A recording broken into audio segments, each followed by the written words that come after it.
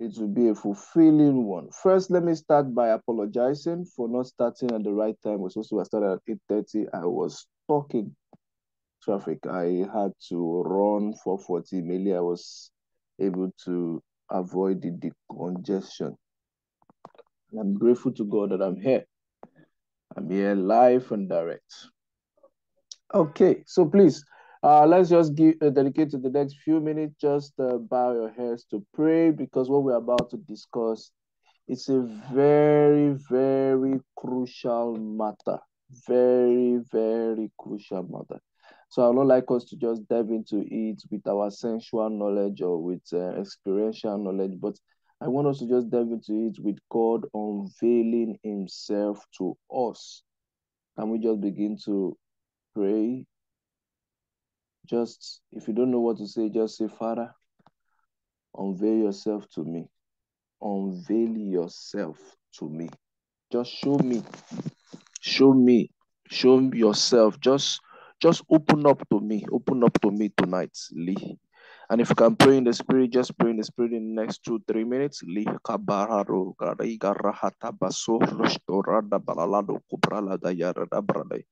Elerege berli dubrala tu zovra le katela garo brala busho tabrala bama sandayaraba. Efralado roko pakatusa prale poshon de legere gebralade. Eli rahatunda yarida praulo brale mrosor sto brale karari. El garido bralagato son de keshara gora malakatu zepla de garada balagado. Kistarado zoprele bishumbre le besete radumbra hakaliha. Can you just point your hands and just pray your heart out? That Lord, you will speak to my spirit. You will speak to my soul. You will speak to my body. You will speak to my very being. You will speak to my very being. eligere de balego rahali koro pralebe moronda kubali karanda kelegede pralabo kusore de belegede. Pralaton sande yaram rolomosh de gede prelem rondo bali irrodo kopari kapasa tara barala kapaparando bala. Elegede pralebe store gede blapa pralamonda parlong maraha kaladi karatus pralebe legede. Barara gede bralabasa. I connect everyone on the sound of my voice to the frequency of the Holy Ghost. To the frequency of the Holy Ghost, to the frequency of the Holy Ghost, to the frequency of the Holy Ghost, to the frequency of the Holy Ghost, to the frequency of the Holy Ghost, to the frequency of the Holy Ghost, to the frequency of the Holy Ghost. I com I connect everyone under the sound of my voice tonight to the frequency of the Holy Ghost. We will not hear the voice of man, but we hear the voice of God. Even as God will use man, we use man to speak to us tonight. In the name of Jesus, I receive power. I am empowered to speak as an oracle of God tonight. I receive power to hear God's voice clearly for his people. I receive power to solve the problems, the deep secret of the heart, to answer those deep questions tonight. Thank you, Heavenly Father. We give you all the praise. In Jesus' precious name, we pray. Amen. One more time, I want to say a very big thank you for everyone to being here. This is the I trust God that this will be the last class for tonight, and um, I'm looking forward to. Once again, I want to apologize for not starting at the right time. So I want to. It was beyond my control, but I thank God for taking all the glory. Okay, so conflicts and communication management. Hmm. I tell you the truth. This is a very cogent topic. And you know, many of the topics that we, many of the courses we have discussed all through in these classes, we have discussed topics that don't just apply to church services, but even to your workplace, even to your personal work with God, even in your married relationship, even in your day to day workings. So we continue tonight as we discuss on the topic conflicts and communication management. I'm going to be saying some few things. You may not agree with it. I must tell you the truth. But I like you to write them down. Write them down, reflect on them, then ask questions so that I can expatiate if needed. Can I expatiate if needed. All right. Number one hard fact. Number one hard fact. Conflict, crisis in the church, in the mosque, in the society, in the family, in the workplace, it is inevitable. What does it mean? It means there are no perfect person on this earth. No matter how hard we try, you cannot avoid conflicts and crisis. So I will just beg you, stop avoiding conflicts. That's another fact I'm telling you already. Stop avoiding conflicts. Eh, come me. Ah, sorry. I'm speaking Yoruba and I said I won't speak Yoruba. Sorry, sorry. If you don't understand Yoruba, uh, we use that common balance, that word co commonly in um, among us. I don't want to be, I don't want them to offend me. So they want to avoid conflict. They want to avoid crisis. They want to avoid having a face-off with a person. No, don't worry. Just stay on your own. Let me stay on my own. No, just leave me. Conflicts, crisis, they are inevitable. There is nowhere on earth, even in your mouth, there is sometimes conflict between your tongue and your teeth. They are inevitable. So if we now know that they are inevitable, what should be our response? What should be our part in ensuring that we are able to manage it correctly? Because this is inevitable. It's like you saying, it's inevitable for me to be hungry. It's not possible for you be, to be a human being and not be hungry. So conflict and crisis like being hungry. You can't avoid hunger because there are different seasons of the earth. There are different seasons. There will be time of plenty. There will be time of lack. So conflict is inevitable. I'm emphasizing this first point because if we get this bedrock of the foundation of this point that conflict is inevitable, many of the hatchets we bring out and the ammunitions we bring out when there is a slight misunderstanding, we will know we will know that it's not necessary. Stop trying to devise um, how do they call it? All weapons. Oh, today we are cutting the head off because just of small headache. But it was the same headache. It was the same head that thought of and brought good ideas that solved problems. So now that the head Hannah has headache, you are saying we should cut off the head. Conflicts, crisis in the church is what? Inevitable. If you go through all scriptures, all scriptures, even Genesis, right from Genesis 3, there was a conflict between man and God. And God did not avoid it. I heard something tonight that got me thinking. So let me get it. Let me let me say it the way the person said it. He said, Do you agree that God is perfect? I said, Yes, God is perfect. Do you agree that a perfect God created everything and everything, and he said everything was what? Good. I said, Yes, I agree, everything was good.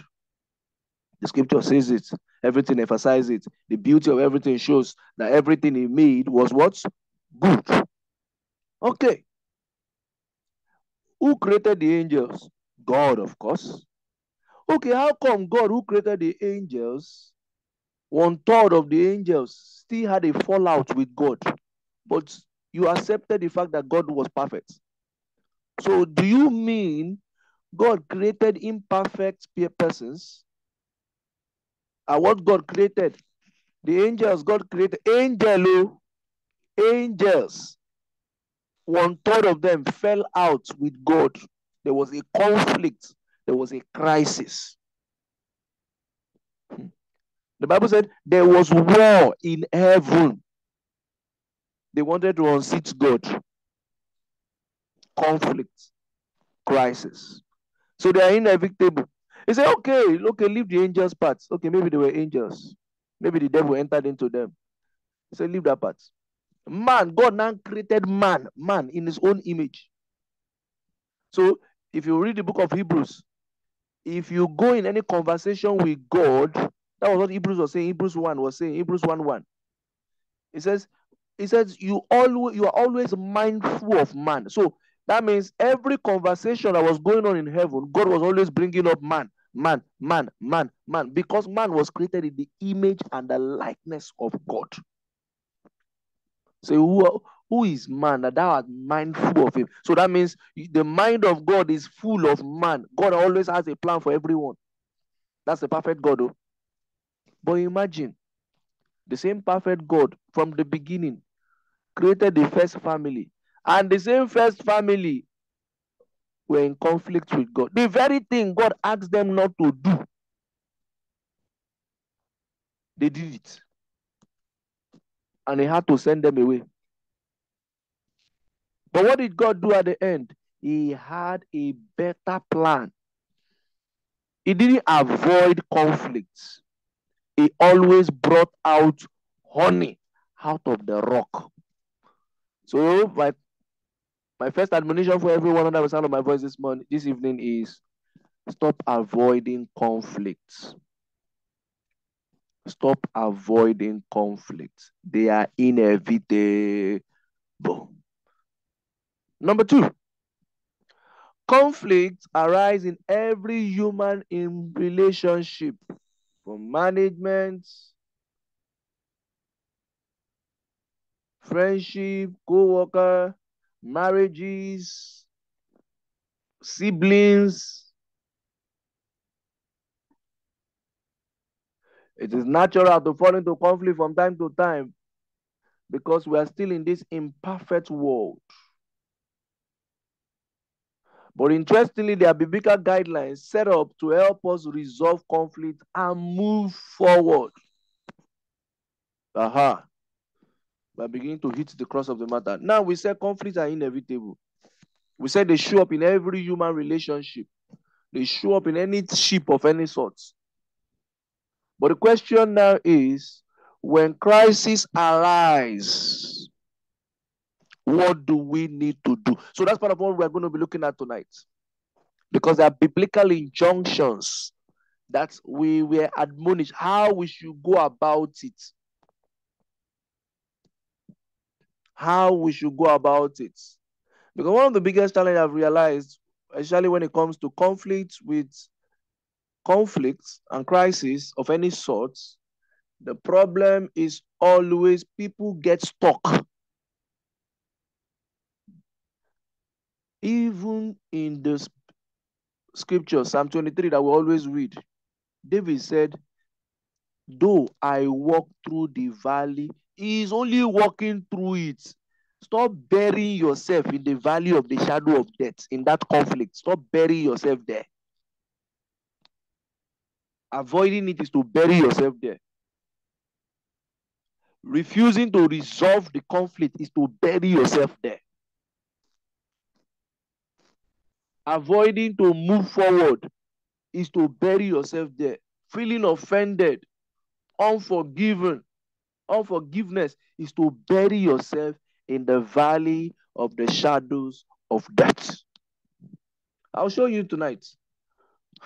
As we go on, you will realize that many times when there is conflict and when there is crisis, it is God that came to visit those people. I can show you from the scripture. It was God that showed up in that situation, and it was he all he was just trying to do was to stir up a new move of himself. Maybe some people will, will get comfortable. And God was about to say, No, no, no, no. It's time time you make a move. Don't sit there. Why sit here all why? All long? Move forward. So he stirs up a conflict. Maybe he has been saying it, but nobody has been listening. So what does he do? He stirs up the environment that uh, there is a form of rejection. He stirs up the environment. There's a form of crisis, conflict, altercation. So that man removes his face from human being and puts his trust on him. Total trust. He happened to Apostle Paul. Go and read the scripture very well. If you see, at a point, he almost wanted to be getting bitter because many people who worked for him, who were pastors under him, because he was a bishop of bishops, were leaving him and going away to start up their own. Some of them were even leaving him and started speaking ill about him after. Those are some of the things that led to him writing letters to Timothy, writing letters to some locations that were try that were the Corinthians, they were that were quarreling. And we say, yeah, some people say, I am for Paul. Some people say, Oh, I am for Apollos. Some people say, I am for Jesus. Those were conflicts. But look at what uh, Apostle Paul was able to use that God used him to do. He used him to balance it. That look, everybody has a part in the body. Everybody. Paul has his part. Apollos has his part. Jesus himself has his part.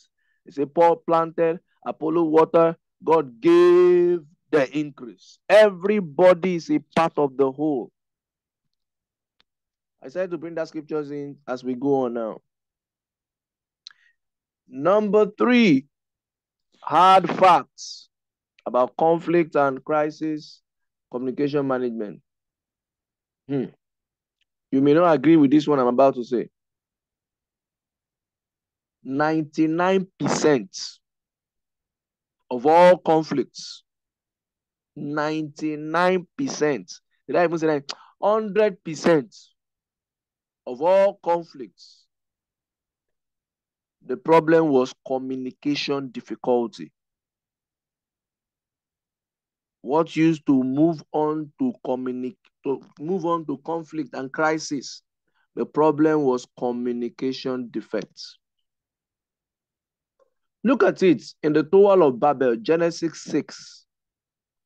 They had planned to build a temple, they built a tower so high into the heavens, so high into the heavens that they could be able to reach God. They had not even started, they only imagined it. And God saw the imagination of their hearts and said, Ah, no man can stop these ones from being from being able not to achieve what they intend to do. He said, let's stay together so we're not scattered all about. And what did God do to begin to scatter them? He only changed their communication. He only put a difficulty in their communication. He only gave them different way to listen to things, communicate things, gave them different language. And the rest is history today. Even the crisis Nigeria, our country, is facing right now is a problem of communication. I'm sorry for bringing up politics here now. But I just want us to get the example. If, for instance, the government of the day speaks eloquently and knows how to persuade his people and is open hearted in communication, and they're not communicating with bitterness, and they're not communicating with having grudge or something, one thing or the other they're not comfortable with in the back at the back of their hearts. I tell you the truth. Half of our problems will have been solved. The other half will be the people person listening to that communication process, following that dialogue. If he's not listening with prejudice, if he doesn't have a bias already, he has a premonition you see, all these things are communication difficulties. So most conflicts, the bedrock of it is communication difficulty. For those of us that are married, you agree with me. The problem is the other person did not understand what you were saying. The other person did not even did not even wait for you to even explain yourself. Was not even empathic or enough to listen to you. So, how do we solve this problem of communication difficulty? Please hear me and hear me well. Go and learn and relearn and unlearn how to listen. There's something called active listening. Hmm. It's a big course. I tell you the truth. Active listening. You are listening without judging. You are listening with empathy. You are listening with the mind of filling the gap of the same person who was speaking. You are listening to regurgitate without any premonition or without any biases. You are listening with your whole heart. You are listening in love. That's why when I teach love, the L, the acronym for L O V E, L is listening. It's a skill. If you say you want to be in love, you need to learn to listen, actively listening. Just listen. Stop judging the situation. Just listen. Actively engage your heart, your brain, and your hand in the process of communication. You will resolve conflict quickly. Listen. And the O is to be obedient. Is to be obedient. The V is to value each other. Value each other. And the E is to exalt. Exaltation there means you should be able to speak the truth one to another. You should be able to embrace the truth from each other. It's no more love when the other person cannot tell you the truth. But the problem now for conflicts, as I say, as I as we move on, is that conflicts are mostly com- I, I keep emphasizing this the biggest even in church.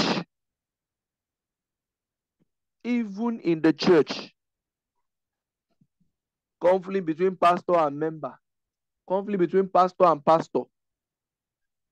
Conflict between unit leader and members of the units is always communication issue it's always a matter of communication. And communication is a very big tool because this is where let me let me say this at this point to help somebody listening to me tonight. We always communicate from our um what do these English people put it? From there are four dimensions. We have been grouped into four dimensions of personalities. We always communicate from our personality uh, if you remember my first lesson talking about um, personal transformation, I said we are tripartite. You have a spirit, you have a soul, you have a body. It's your soul that can communicate and communicate correctly. That's where you can speak. That's why we are the only animals that can speak and you can relate with what they are speaking. Now, in the place of you speaking, you have that that's which is a soul you have a mind. Right there under the soul you have a mind. Right there under the soul you have the intellect. Right there under the soul you have the will.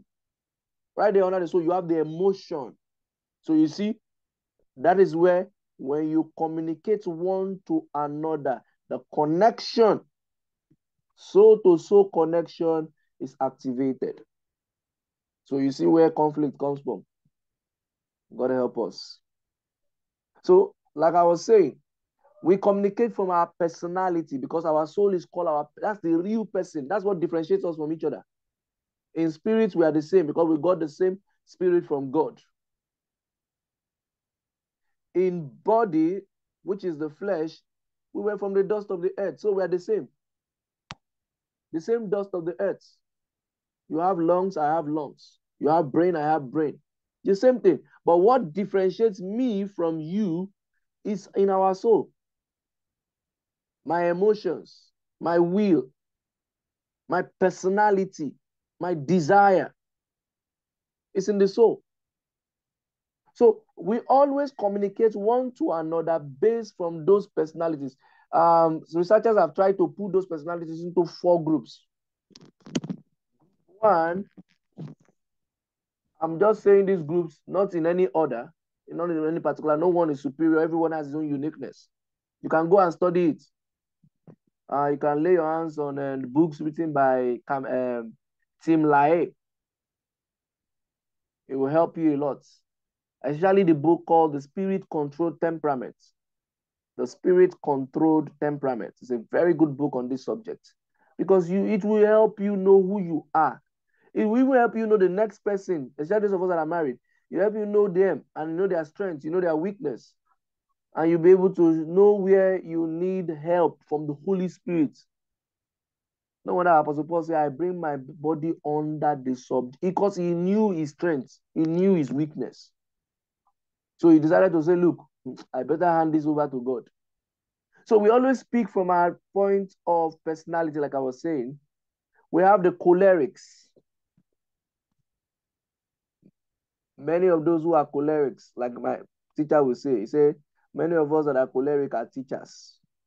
And we don't take no for an answer. Cholerics. Number two is what we call the sanguines. Those ones are happy talking, jolly fellow. Happy talking, jolly fellow. They are good in marketing. They can sell anything to you. They can even start up a conversation with a stranger. They are so good, happy, going, jolly fellow. That's what I call them. Number three is what we call the melancholy. Mm, those ones, they tend to want to be perfect. Nobody can do anything better than them. You see where crises are beginning. You cannot be impressed. They want everything to be organized. Everywhere must be okay. I know as I'm speaking, you may be seeing yourself. The number four is what we call the phlegmatic. Ah, this group of people are powerful in their thinking, in their brain, when they are alone. But even when they think those ideas, beautiful, laudable ideas, somebody has to push them because they don't take it they don't they don't stand up to move somebody will have to push them the phlegmatic and these things always show up in our communication so most likely if you're listening to the phlegmatic they always speak as if they are weak very weak that they need help so you uh, quickly people quickly feel empathy for them and sometimes they can be lazy. It's just their personality. They sound to be lazy in their communication. Unlike the cholerics and the sanguine, oh my God, the cholerics are exertive in communication. They want it done now. No, no, no. Don't say no, say yes. They are commanders. You see, that's why when you have bosses like that, you, you now know how to relate with them. Amen and amen. So we need to have a very good understanding of all this, else there will be conflicts. The melancholies and the the melancholics of them when speaking, you have to be especially when they are female, because that will also play out, whether you are feminine or uh, masculine. Most of these things I'm explaining, they may not be totally 100% same, but they are, yeah, but they have some leverage of 90 to 40%.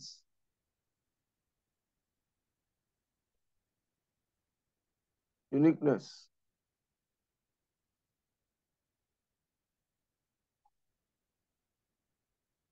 Just a minute, please. Okay. So they have some bit of uniqueness in them. And we need to be able to explore this uniqueness to our own profiting, not to conflict, not to crisis. So you have to be able to understand these things and be able to know how to resolve conflict and crisis very quickly. Very, very quickly. Just like, for instance, imagine if you have two cholerics, two cholerics in under the same roof. What do you think? There will be too much eruption of fireworks, volcanic eruption. Because everybody is a commander, nobody is a doer. Nobody does the dirty job. Everybody wants to command. The Lord will help us. Let's move on. Now, let's just look at some types of conflict, now particular for the church, because we are trying to, at this point, we're looking at those who want to join the workforce of the church. Understanding this will help you even when you find yourself in leadership position in the church, in our own local assembly. Dr. Richard is a theologian and has studied the church for, has sent the church severally and um, studied inside and outside, and we're trying to. He, he, he concluded on these three things. So there are only three kinds of conflicts. First is the interpersonal conflict. Interpersonal. Intra, ah, you see the funny thing? You can even be fighting with yourself. oh my God. you may be in conflict or in crisis with yourself. Then there is substantive conflict. I will not go into all that as personality, but I'll be staying with the church more often so that we get what God will have us learn tonight. So let's look at um, interpersonal conflict. These are conflicts on personal grounds, such as between members and staff and leaders of the church, between the church members, staff, and leaders. Interpersonal conflict is mostly the 90% of conflict in the church is interpersonal conflict. It's on personal ground. I disagree. I disagree. I don't like this. Even as I'm talking to you right now, you may disagree with what I'm saying. It's a personal, it's on personal ground. It's on personal ground. Who is going to sing in the choir? Who is going to lead the Bible study? No, it should be somebody, it should not be this. It's all interpersonal conflicts. And if not well managed, can escalate to negative confrontation. Serious one. It may lead to gossip, slandering, legalism, where people begin to power control, power play, politics. Let me say it properly. It's not politics. It's not just politics. Anywhere you have human beings, there's politics. But the kind of satanic politics, let me say it that way. So it sinks. Satanic politics where people begin to exalt themselves beyond God. They begin to try and make themselves God to people. Gossip, slander, they cause divisions with the words of their mouths. Just on, it was just a personal thing.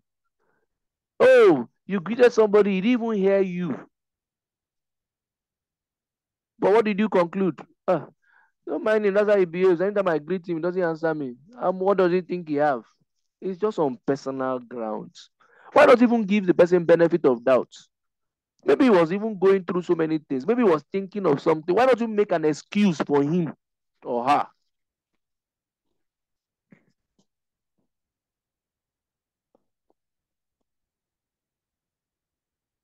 I don't make an excuse for them. Like somebody said, and I write down and say, we, we Christians can be like little kids, seeking what we can get away with until the parent figure comes back. This is just our human nature.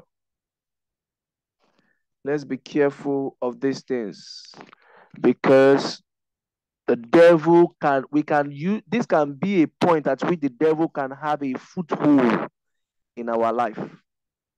Because it could just be a personal ground. Before you know it, you are nursing unforgiveness. And I tell you the truth.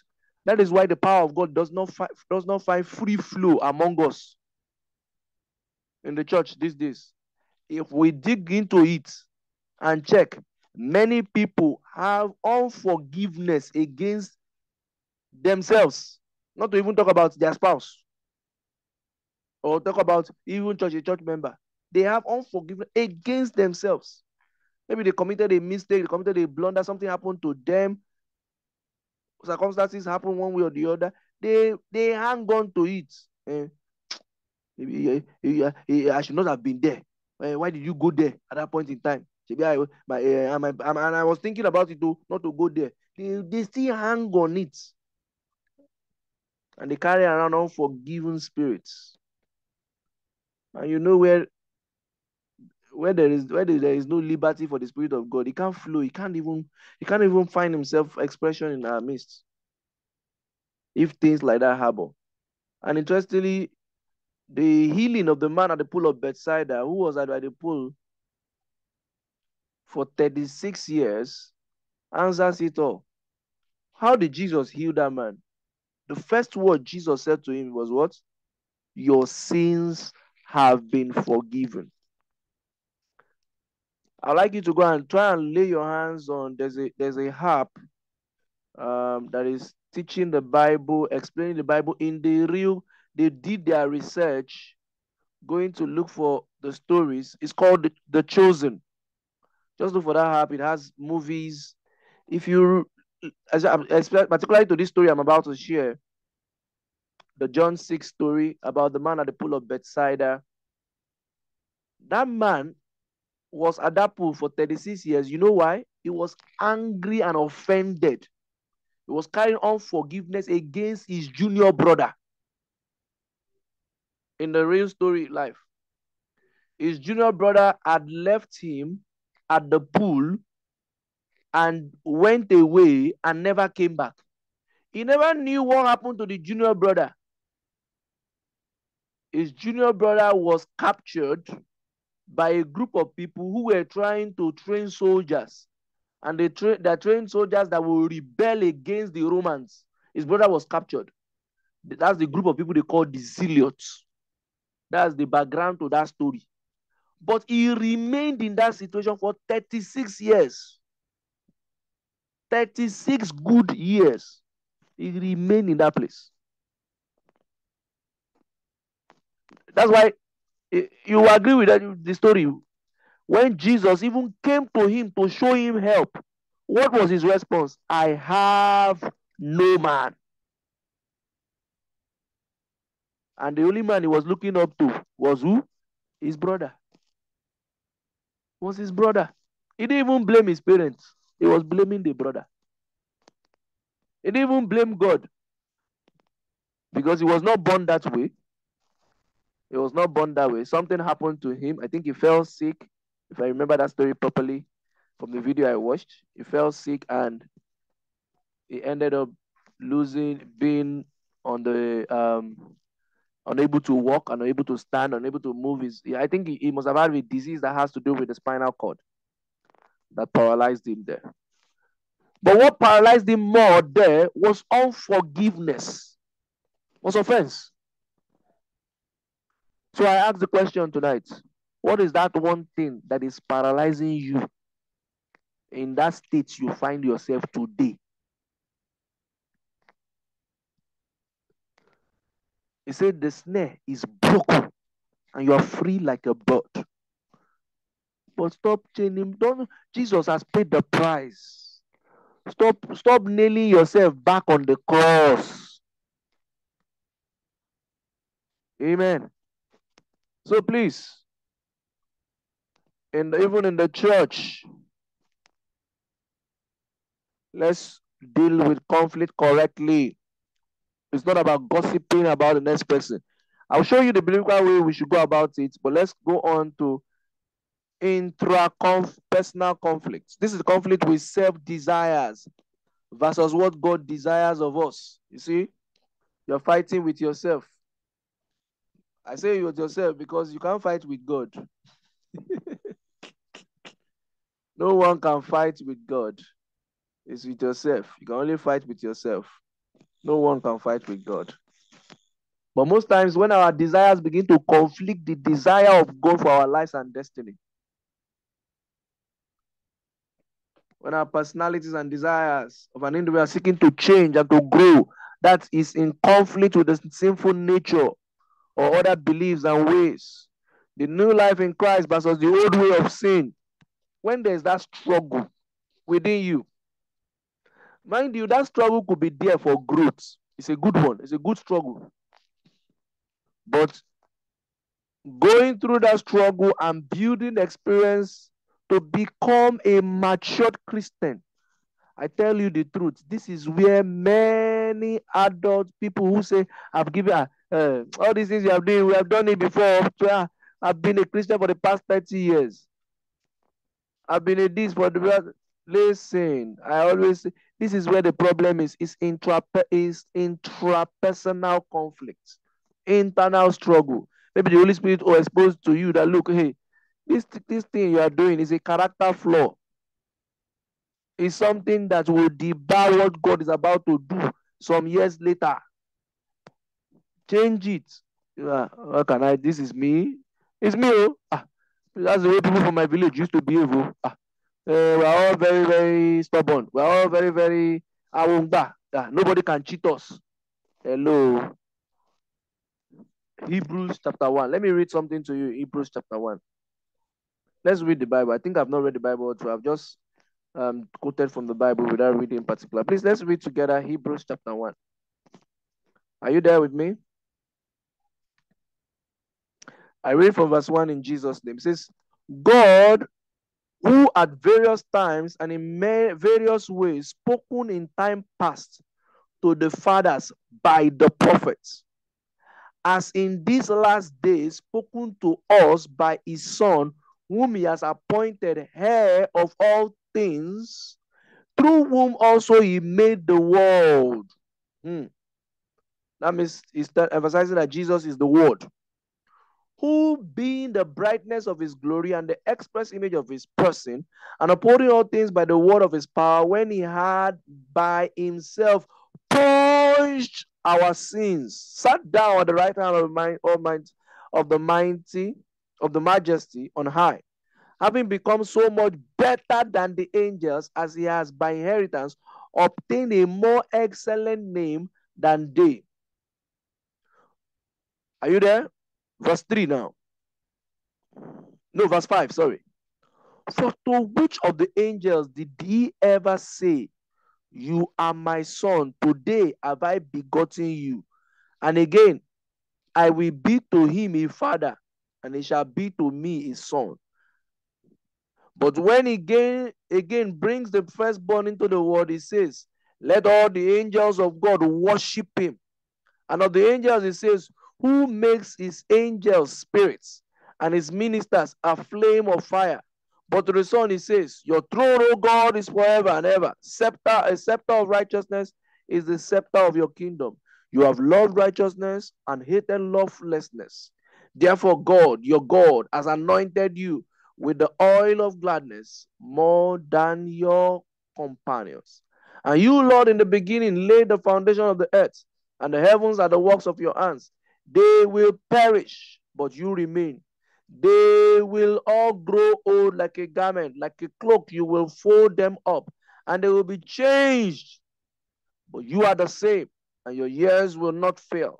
To which of the angels has he ever said, Aha, sit at my right hand till I make your enemies your footstools? Are they not all ministering spirits sent forth to minister for those who will inherit salvation. I know I read NLT. You may be wondering, okay, what am I intending to bring out of here? Um, NKJV. If you read your version, you will realize that Jesus, uh, the scriptures, Paul, well, many people have argued that it's not Paul that wrote the Hebrews, that there's no clear cut um, inscription to show that it was Paul that wrote it, but some people still agree that it was Paul that wrote it was trying to say something here that God always obeys men. He brings them and drops them lower. Why? So that he can also lift them up. Looking at the express image of Christ, there was a glory ahead. There was the full, he was already God in fullness. But what did he do? He showed us a typology of what needed to be done. You will be made abase. You'll be brought low.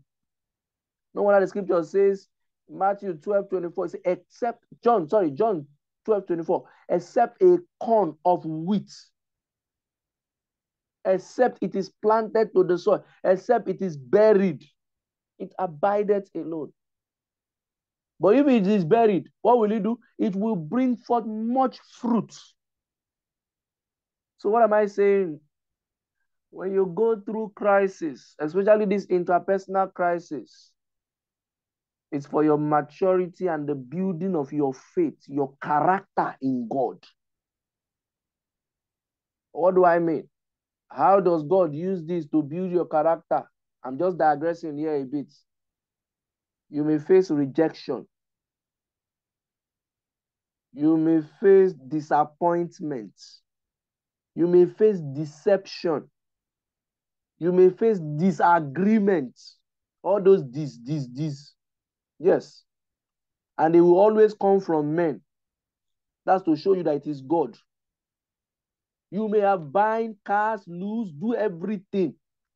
And yet it's not still working. Sometimes, eh? Just look again. It may be God tearing down your nest and trying to build you.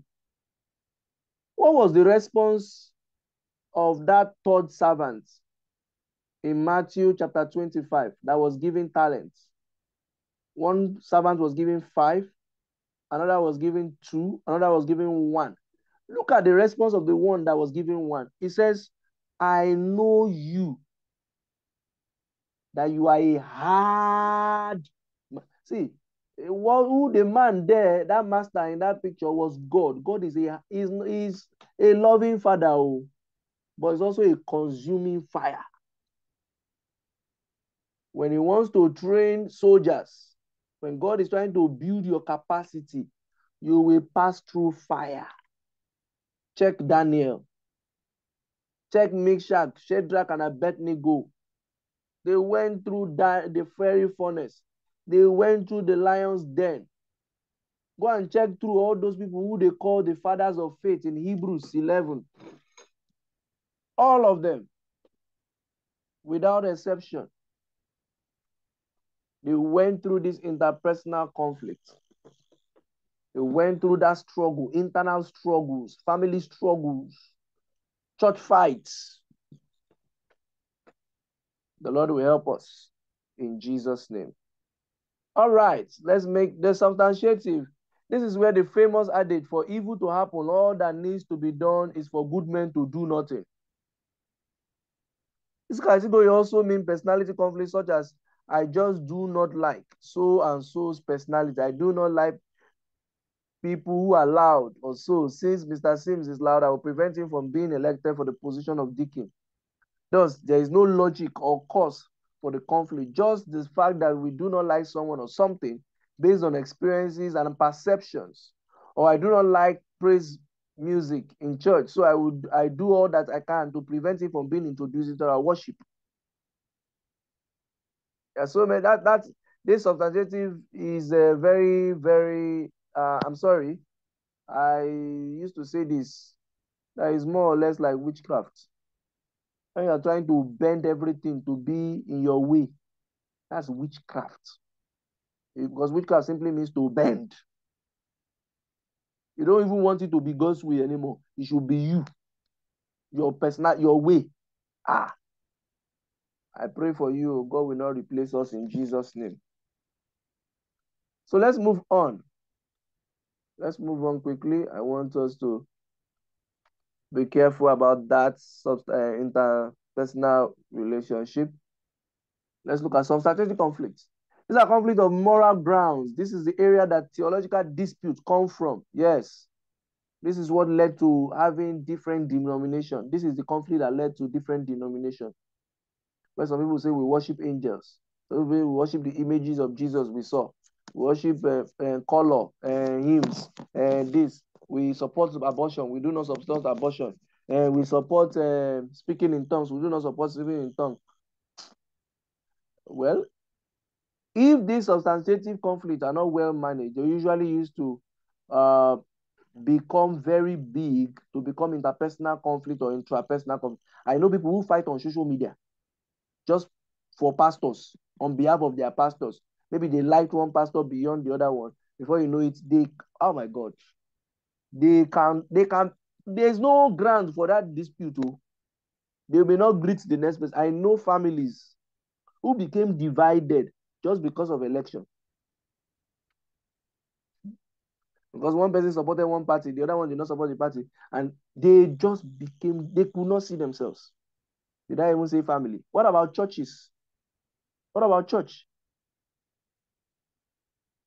That's why we always want men of God uh, and upcoming leaders never to pub. You can be a member of a party. There is no wrong in that as a leader. But you do immediately you become a leader, especially in the church setting. Let me say this categorically so that I help somebody here. I don't know what's going to happen in the next future. You are not you are not permitted to publicly declare your allegiance, especially using the pulpit to declare it.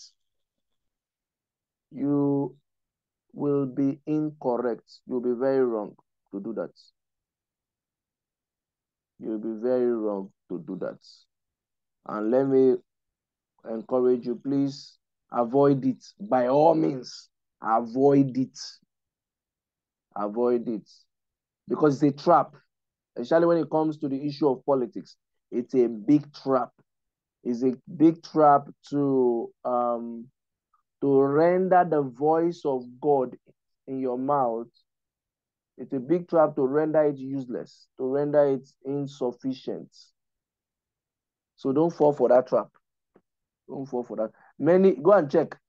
All those that prophesied towards the elections, prophesied and prophesied and prophesied and prophesied, and, and not even one doge of those prophecy came to fulfillment.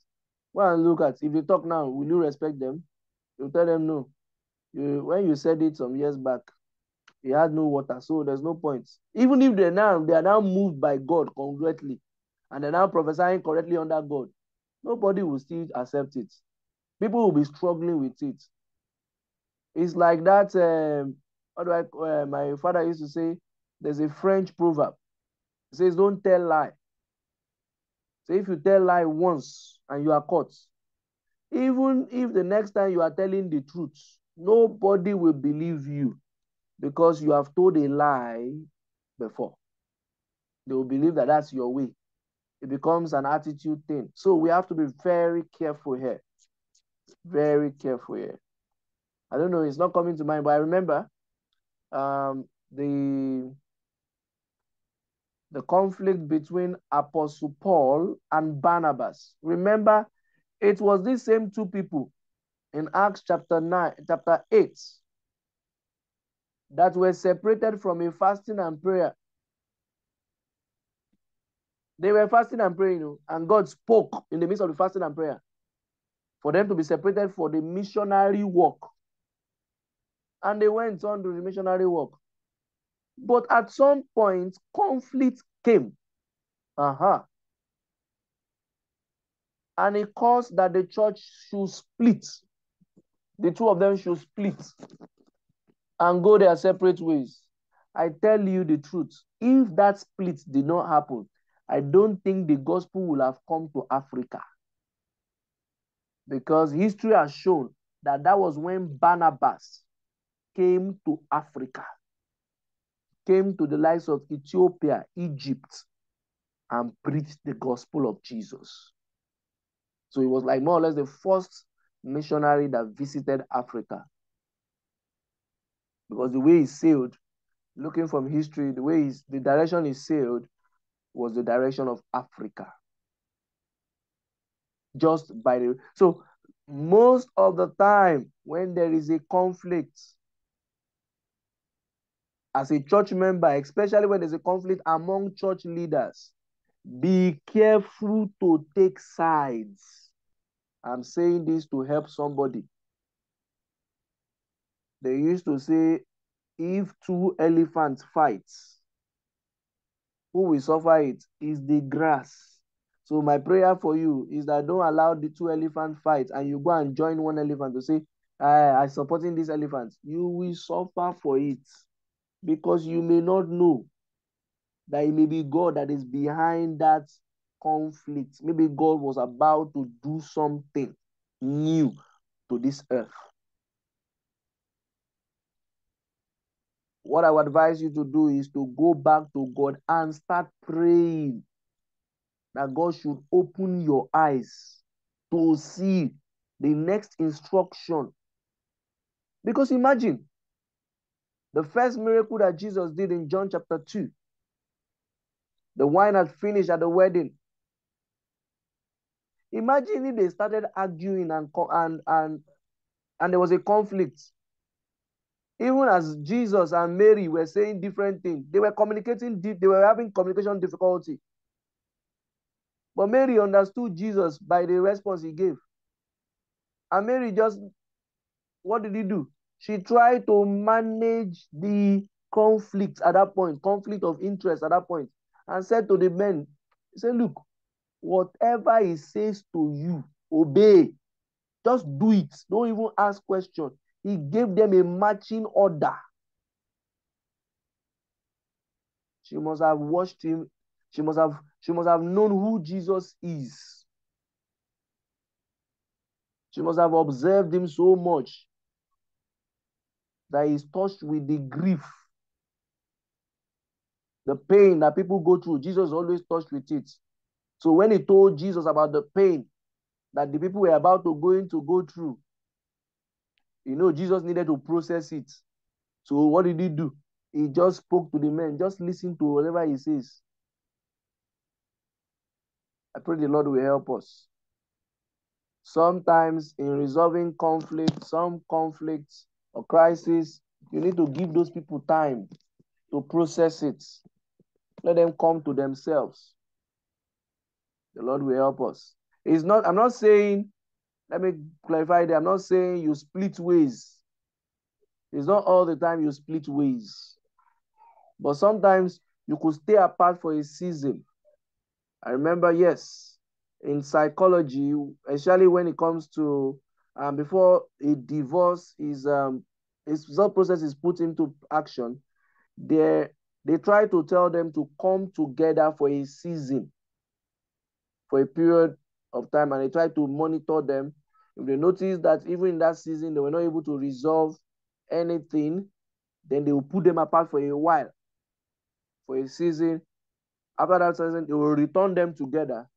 If they now cannot live on their own separately or they cannot live together, even when they said they should stay apart, they could not live together. That means when they come together, they'll try to resolve. But if they don't, if they feel okay with each other's um, individuality, well, but it's just that those processes have been abolished these days, and it has become like a two for pure five naira. People just get it at the speed of the They know how to write the write the case. Lawyers are now twisting the arm of the law to make it happen like the speed of light. The Lord will deliver us in Jesus' name and bring us back to the real thing in Jesus' name. All right, so let's um, begin to round up here tonight. Whoa, okay. I hope, sorry, sorry, my screen is hanging just a little minute. Okay. Okay, there are several examples there of um, crisis in the church or church splits, scandals, financial impropriety, sexual scandals, schisms, divisions, succession crisis, marital crisis, ethnical, tribalistic, mm, political parties. I mentioned many of these things. Financial crisis. Hmm. This one, eh? Only God can save, can save the church. You can even mention some others that you can think of. That you can think of. Listen, all this, I can say it again and again. All these crises cannot be avoided. But you can resolve, but they can be resolved. They can be resolved. Jesus speaking said we should of we should avoid offense. He said it was better the person was not born. Avoid being the offender. Avoid being the person who will steer somebody up for unforgiveness. Say it was better you were not being born, or it was better that they tied a millstone to you and throw you to the deep of the sea. You See how bad that is? So, than for you to now cause crisis in the church. Now, at this point, I, I, I think I should answer this question. Somebody asked me, what if, if the crisis is between a church member and the pastor of the church? I will say very much to you. Listen, you cannot be in conflict with the pastor of your church. Then he is no more your pastor. Just pack your bag and your Bible and move to the next church that you believe that the that pastor over there is now your new pastor. Please, warning, don't do it in terms of emotion. Or don't do it in terms of uh, I no go. Uh, I want to make him know that I am very useful. God can replace you with stones. They told, they asked Jesus, tell them to keep quiet. He said, Look, if I ask them to keep quiet, stones will get up and begin to speak. So don't because uh, I'm the one financing the church, I'm the one paying for all the projects, I'm the one doing this, doing that, and he's not recognizing me. He's not giving me bishop. I'm not becoming, he's not ordaining me as deacon. I'm not giving a role as a pastor. If you try that one, and that's the one you are having an issue with the pastor, listen, God you will know that God rules in the affairs of men. He did it to Nebuchadnezzar. He made him go into the beasts, into the forest like a beast for seven good years until he came to himself to say that, Lord, the God of heavens rules in the affairs of men. So please avoid that trap. Please avoid that trap. It's a trap of the devil It's the trap of the devil. All these trap mentioned here, please see to it that you are not the offender. You're not the one being used to start up this crisis. You're not the one being used to start up this crisis. So if you need to develop your character, work on it. Work on it. That was why David was sent into the abyss. He was anointed at the age of 17. But he did not become king until he was 30. So for 13 years, God was building his character. 13 good years. 13.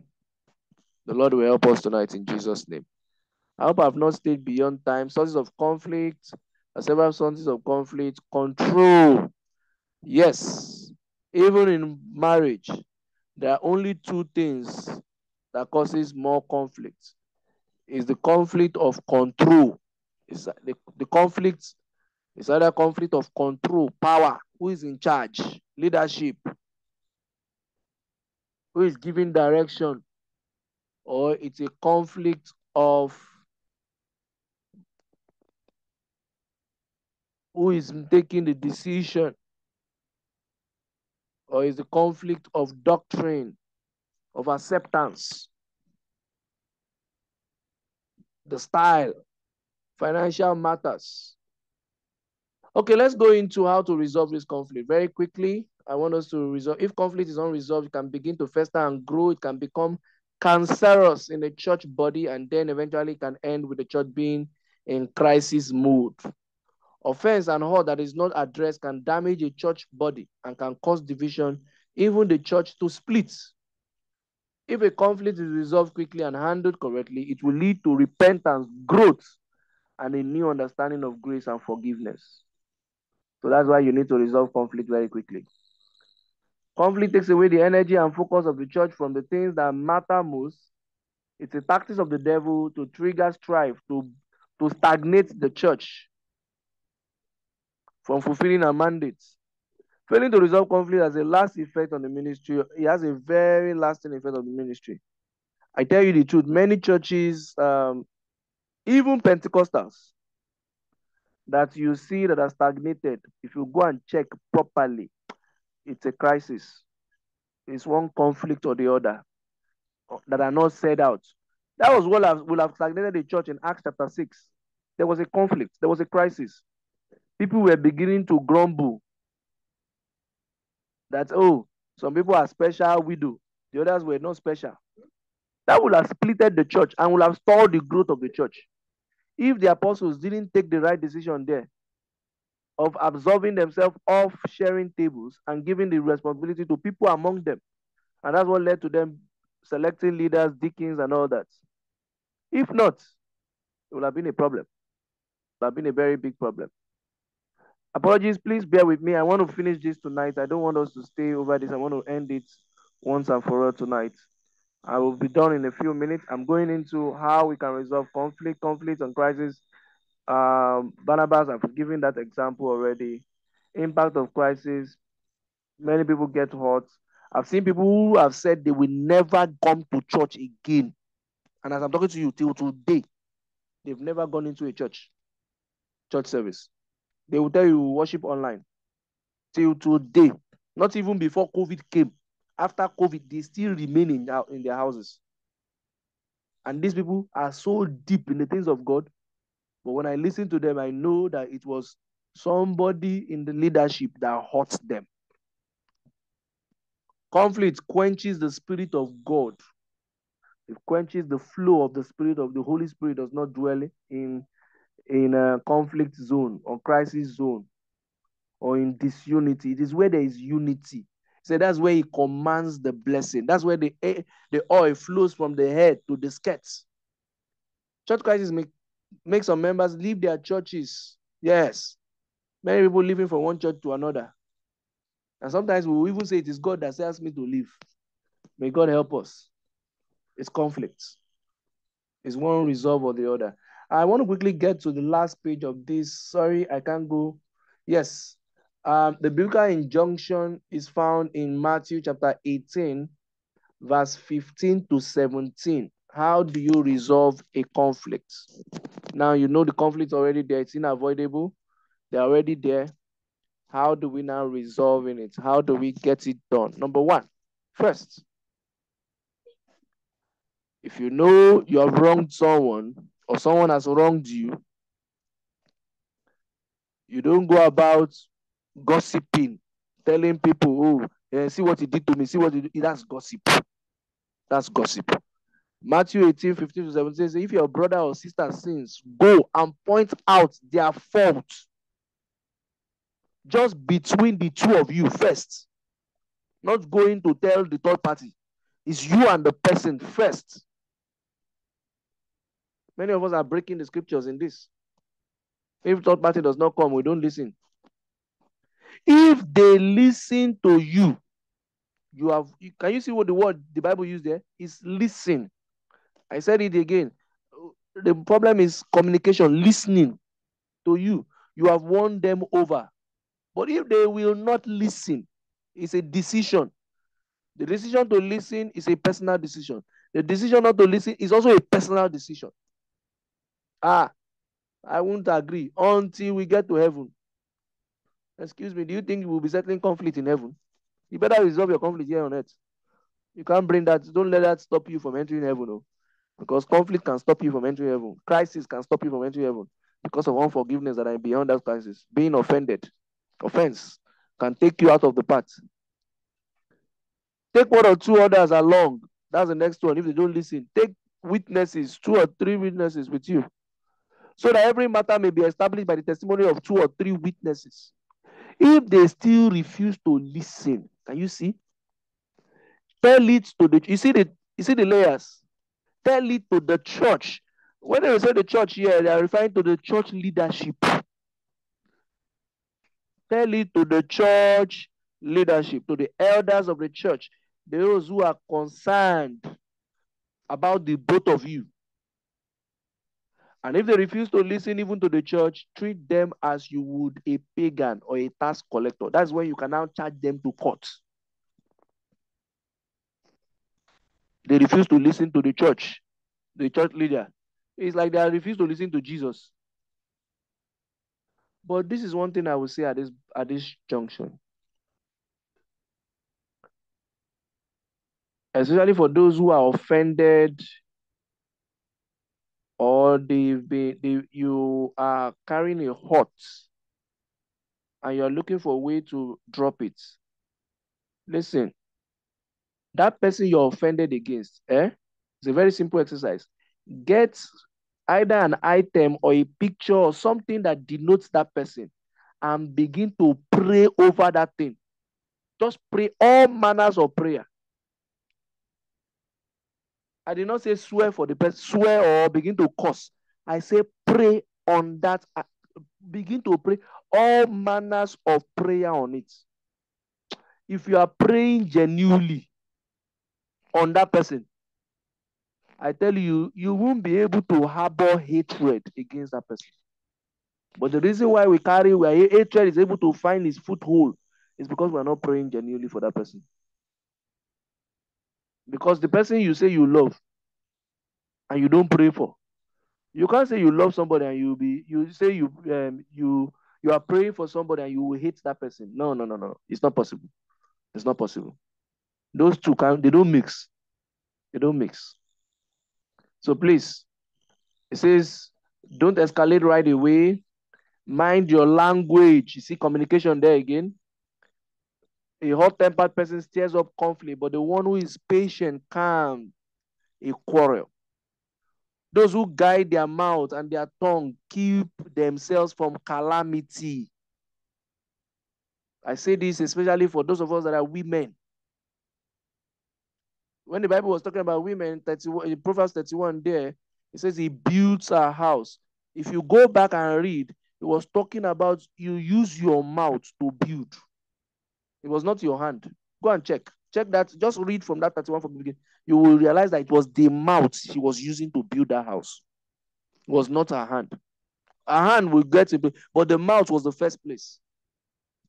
Many women, especially I say this again, that uh, they've been gotten battered or abused physically. I'm not trying to make a brief for men that have done this. It's not a good thing, but many a times it was because they didn't reframe their tongues in the day of calamity. They said things. Even those who get, especially when you are angry, there are two times that you, you are not expected to see anything. When you are angry, when you are too happy, because those are emotional states. You don't make promises when you are too happy. You don't say words when you are angry. Because what you said, you will not, you not mean it, but the devil, devil and demons will capitalize on it. So stop putting yourself in that trap where you now need many years of fasting and prayer to break just because you were angry. They call it just few minutes of madness and you said things and you're now breaking it for years. The Lord will give us understanding of these things in Jesus' name. Colossians 4 6 says, Let your conversation be always, always, that's the word, not just sometimes, always full of grace, seasoned with salt. If people listen to you, do they feel relief? If people come to you or they are afraid of coming to you, irrespective of their age or their size or their gender. They should find solace in conversing with you if you're a true believer. So that you may know how to answer everyone. You must have a subtle answer. Yorubas have this saying, they say, Sorry for those who are not Yoruba. They are saying sorry has different versions. You have the real sorry, and you have the sorry to spite the other person. We need to be very careful in our conversation. I say it again. It's communication that fuels many conflict. It fuels it. It even makes it become like a bomb and makes the whole situation become because if you listen, listen especially I, I, I say this maybe because I'm a pastor, I'm saying this. If you sit down and listening to couples going through one issue or the other, if you listen very well, you will see that he said, uh, she said this or he said this and I did this or I said that and he did that. It's always about what was said. So why don't you mind what you say? I always used to say this to those that are close to me. Said the same fountain cannot bring forth hot and bring forth cold. So you can also use the same mouth curse and use the same mouth to bless. Be careful. Be careful. Reframe your tongue. No wonder the book of James was saying that if you say you have you are a believer and you are a true Christian and you are worshiping God, your, your real Christian virtue is in control, putting your tongue in control. Say, like horses, using the description of the horses, that they put bits in their mouths. And from the control of their tongue, putting chains on their tongues, they are able to control the horse to anywhere they want. If you control your tongue, your head will go in the direction of the control of your tongue. Eh, uh, uh, I didn't mean it. I didn't mean it. I didn't mean it. You, but you thought about it before you said it. So that's why the Bible used to say, Feed your heart, guard your heart with all diligence, for out of it are the issues of life. If you begin to think on good things, what will come out of your heart will be your mouth will always be gracious words. But if you begin to think of evil, you will also speak evil. The Lord will help us. Number C, be quick to resolve. I've mentioned this. Starting a quarrel is like breaching a dam. So drop the matter before a dispute breaks out. In your anger, do not sin. Do not let the sun go down while you are still angry. Matthew 5 26, 25 and 26. Settle matters quickly with your adversary who is taking you to court. Do it while you are still together on the way, or your adversary may hand you over to the judge, and the judge may hand you over to the officer, and you may be thrown into prison. Truly, I tell you, you will not get out until you have paid with your last penny. Many people have lost divine connections in their life. They've lost destiny. They've lost things that should have built their character. Maybe the reason why you lost that uh, why they lost uh, that general manager job, that CEO opportunity of becoming the head, was because they didn't learn character when there was a small conflict, small small office conflict, they will explode. Nobody can control them. They want to use their fists. They want to use the words of their mouth. They want to throw banter. Let's desist from this. Let's be quick to resolve conflict. Eh, Pastor, are you saying I should become weak? Yes, Jesus was made weak that you may become strong. So if you become weak for the person to be strong and you have won a brother, is it not better than losing a brother to the devil and the devil begins to make hold of the person? Okay. At this point, I've helped, I hope I've helped. I will quickly open the floor for questions. So if you have questions, I think that's the last slide there. If you have question, please, I would like to answer your question. Yes, questions, please. I'll be glad to answer questions. Quickly, quickly, quickly, quickly. Time is of great essence tonight. Okay. I hope. I have a question. All right, go ahead, bro Daniel. Go ahead, sir.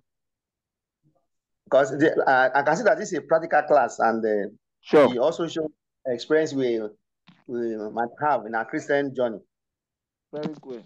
Very sure. Yeah, want, the, the, question I want to ask is that, you know, sometimes when, when you first came to Christ, yeah. it, it, affects me, and I, I know that it will affect other people.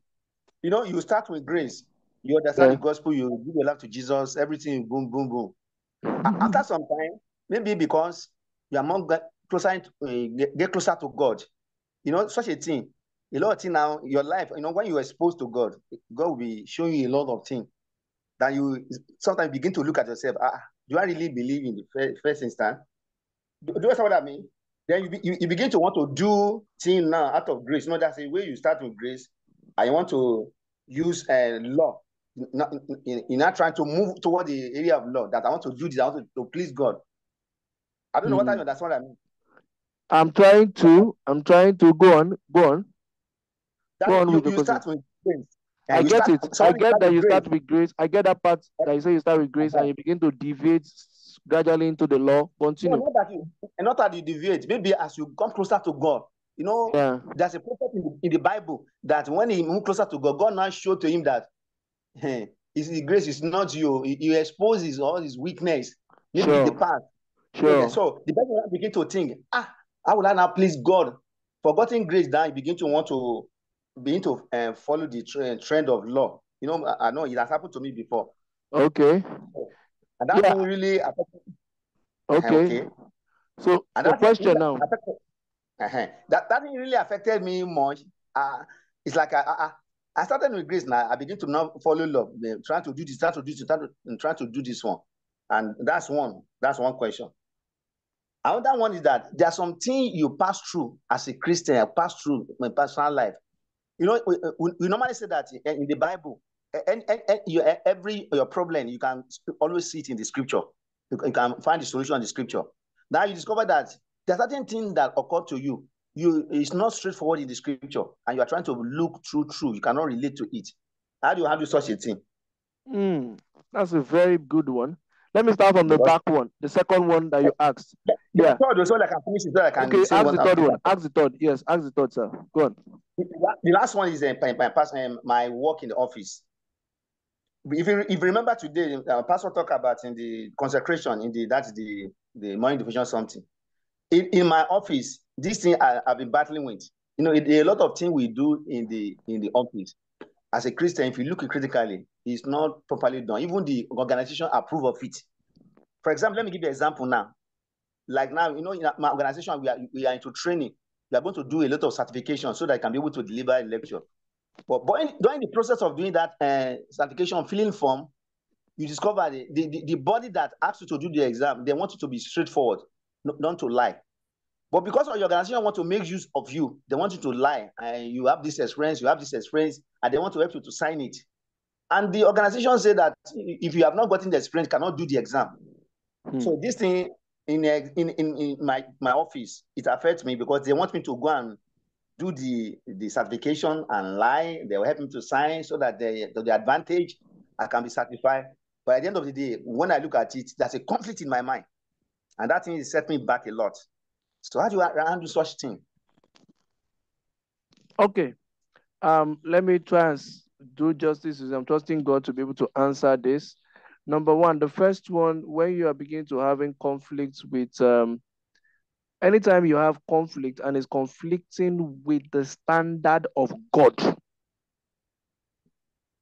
anytime, no matter who that person is, even if he's a pastor, and he's saying God said, and you have not found in the scripture and you cannot see that thing expressly to you.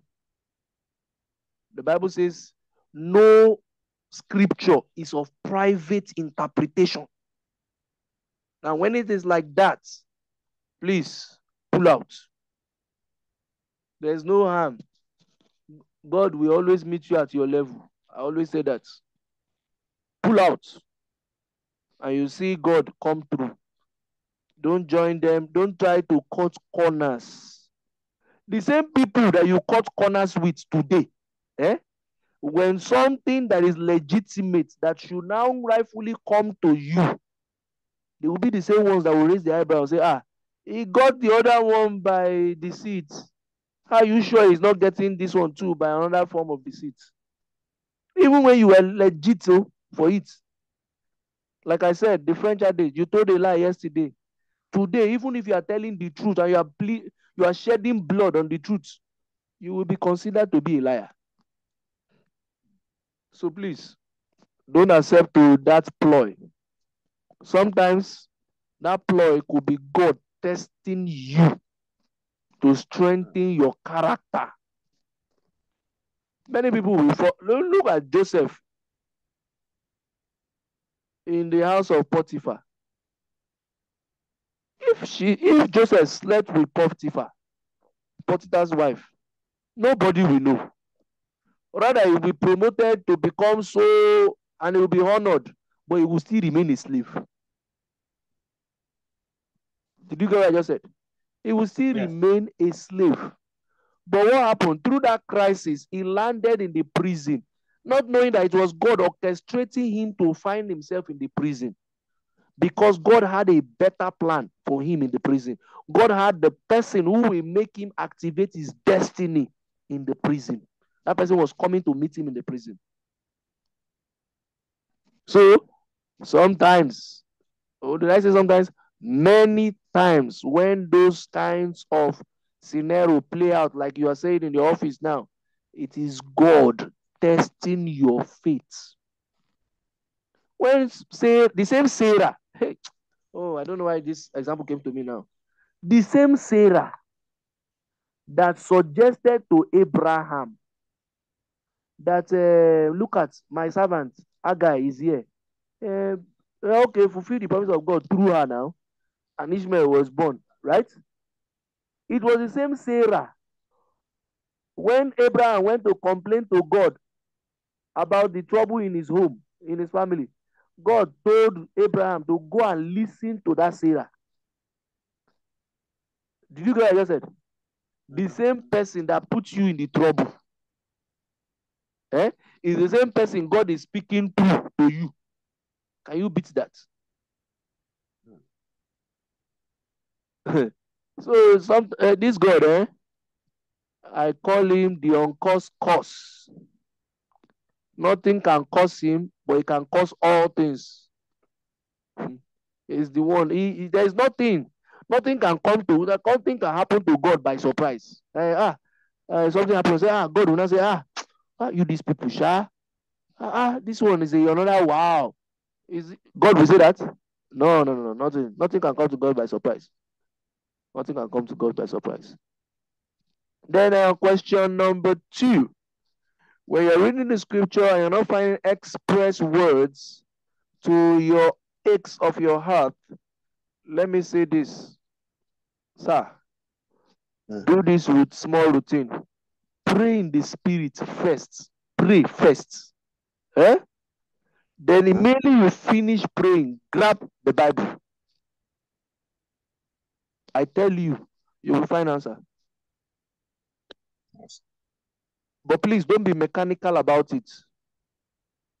Because you know one problem we find ourselves, especially those of us that are, have stayed long in the um, in Bible study and all that, when we even were reading Bible stories, that there has been studies have been done over them over and over again, is those things that people said those times will be blocking us while we are reading the new one. But the Bible says the word of God is new every morning. You can stand on that word and you say, Lord, just unveil the newness of this word to me. No scripture is of private interpretation, but in every situation, there is a word for it. There is a scenario that plays out for it. Can you just show me? And you'll be surprised. Even as I'm speaking to you right now, you see, I've used examples from the scripture that ordinarily some people say, ah, it, it doesn't correlate, but that's how it come, came. And I've explained, and that's why I moved on. I've moved on. Yeah. Amen.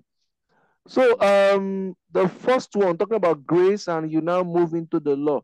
Yeah, listen, sometimes the reason why such things happen, I'll be very frank with you. It was God trying to build you up. You know, when you were a baby, you you drank milk. The milk was provided for you. Everybody washed your plates, everybody cleaned you up, everybody was trying to keep take care of you. But after some time, God by himself, just like what he does, like Mother Eagle does to the eaglets. He was always going to capture the food and bring to the eaglets. He was always going to capture the food and bring to the eaglets in the nest. But after some time, what would he, the Mother Eagle will do? The next time he's coming, he will bring a spike. Will bring uh, what they call tongues and begin to put into the nest. You think he's trying to strengthen the nest more. No, he's trying to put a spike so that the baby eaglets will be jumping. Will be jumping up, will not be feeling comfortable there again, wanting to jump out of the place. When they see the baby eaglet jumping up and flapping his wings, jumping up, flapping his wings, jumping up, he will now pick the baby eaglets with his mouth, with his beak on his back and pick him and soar high and drop it. Now he's now deliberately doing it and leave it for you to to stutter for fear. If he knows that he's going almost going to crash land, he will bring his feather and just come under and catch it and take it up again. He will repeat the process again and again and again until the eaglet wakes comes to the sensitivity and knows that all she needs, he or she needs to do is to just spread his wings and begin to fly. And many months after, it begins to fly and flies away from the watch you. It will now fly away from the eagle. He has to go and look for new territories to conquer. He cannot come close to that eagle after a while. After six months, three months, he does cannot come close. He has to go and look for new, especially if it's a male eagle, he has to go and look for new territories to conquer. Else, he may be put to, he may be killed. He may be killed. You know, because it will become a very skin contest in that area. So you, this is what I would just say. You have to be very careful against attachments. Because most times why we think we are deviating into law is because we were attached. Look at it. The scenario that played out in Egypt, seven years of abundance. That was Greece now. Abi? Mm-hmm. Yeah. There were seven years of what? Of hunger, of famine. They, if they were not sensible enough to apply the law to sustain that grace they have enjoyed, the whole world will have been wiped out in that famine. Did I help you in that explanation?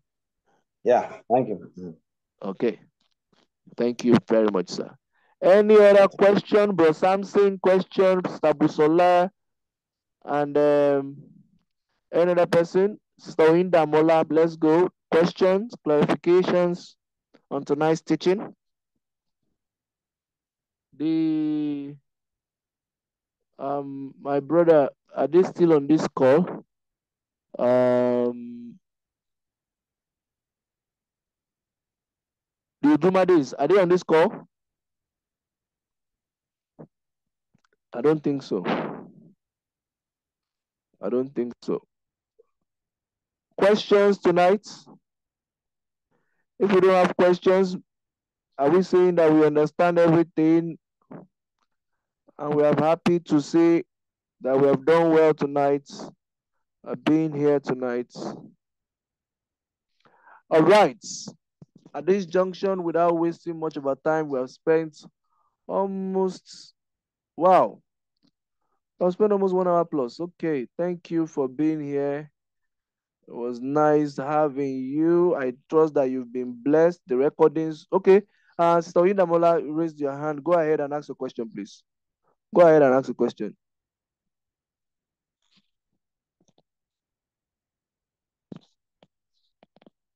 I can't hear you. I don't know if anyone can hear you. Yes, you're unmuted, but we can't hear you. Can you just increase your volume a little bit? So okay. Okay. Is that you or Bro Daniel that is speaking? I say I can't hear I can't hear it too. Okay, all right. Sister Buzola, you can Sister Inawala, you can write your question if you're having difficulty in the network. You can write your question quickly. Let me just wait. I'll just pause to expect your question in the chat room. I'll just wait to write your question in the chat room. Question tonight. Bro Samson, do you have a question? For Busola, you have, do have a question? Uh, let me just say this also to add to, especially for those of us that are intending couples.